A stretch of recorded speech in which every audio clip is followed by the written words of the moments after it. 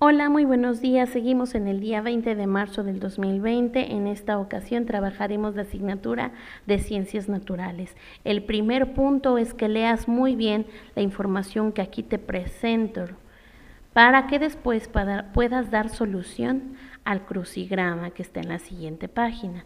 No olvides poner tu nombre completo sin faltas de ortografía.